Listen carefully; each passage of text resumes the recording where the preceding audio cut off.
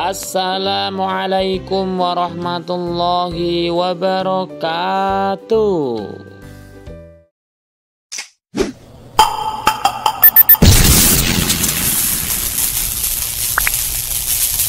Halo teman-teman subscriber Berjumpa lagi di channel Aam Salman 354 Kali ini saya akan membagikan ide jualan Cara membuat es melon harga 5 ribuan Pakai box isi 15 liter Yang segar, simple, dan bikin ketagihan Tonton terus sampai selesai ya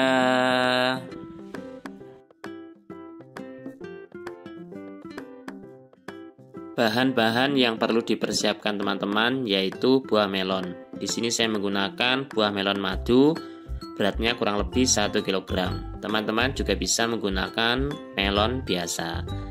Kemudian dua buah lemon lokal. Selanjutnya satu botol sirup rasa melon, bisa merek Marjan, bisa merek yang lain. Kemudian biji selasi secukupnya. Kemudian gula pasir mereknya bebas ya. Bisa rose brand bisa yang lain. Kemudian air putih secukupnya. Selanjutnya cup ukuran 16 oz di sini saya menggunakan merek Starindo. Dan yang terakhir es batu kristal secukupnya. Di sini saya menggunakan satu box es batu kristal. Beratnya kurang lebih 5 kg.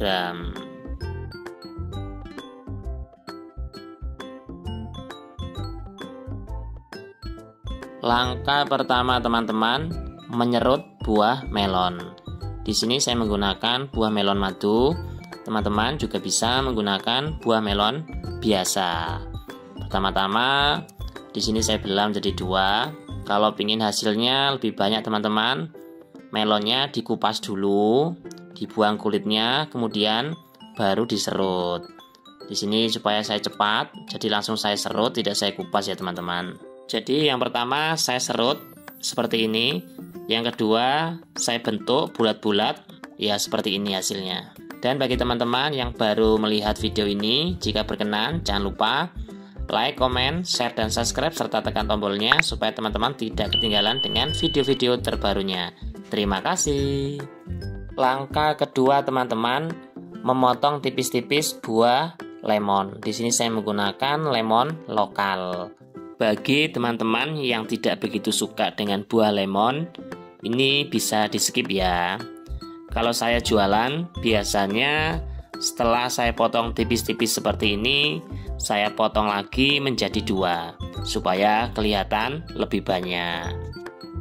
Di sini saya hanya menggunakan dua buah lemon lokal untuk ukuran box isi 15 liter. Langkah ketiga teman-teman, merebus gula pasir.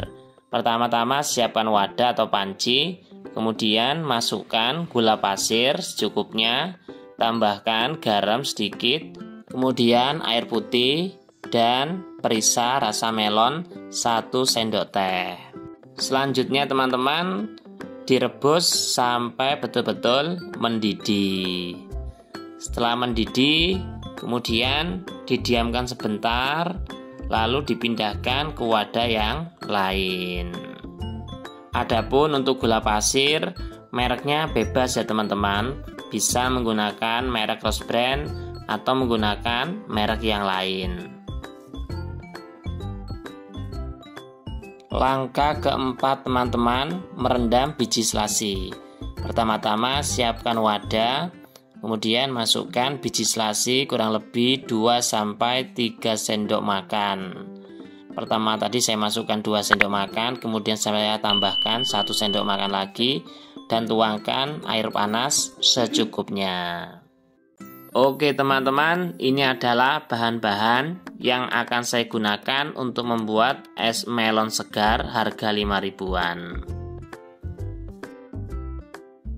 Selanjutnya teman-teman, di sini sudah saya siapkan box atau wadah yang ukurannya kurang lebih 15 liter.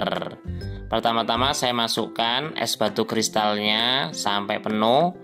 kemudian gula cair, selanjutnya buah lemon, buah melon yang sudah diserut tadi atau dibulat-bulatkan, kemudian biji selasi, kemudian satu botol sirup rasa melon. Di sini saya menggunakan merek Marjan.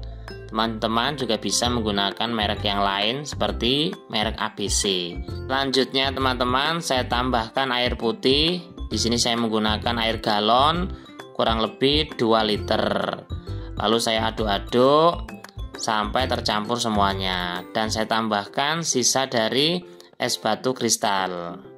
Minuman ini teman-teman es melon segar bisa menjadi ide jualan 2023 minuman kekinian dengan harga 5 ribuan karena cara membuatnya sangat simpel, praktis, segar, dan insya Allah bikin ketagihan para konsumen.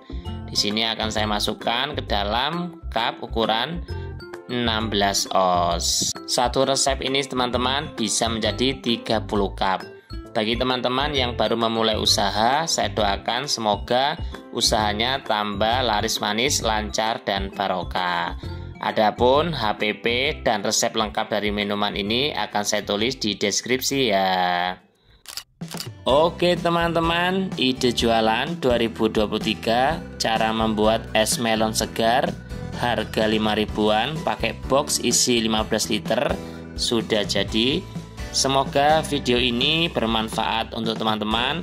Jangan lupa dukung terus channel ini Aam Salman 354 dengan cara like, comment, share, dan subscribe serta tekan tombol loncengnya supaya teman-teman tidak ketinggalan dengan video-video terbarunya.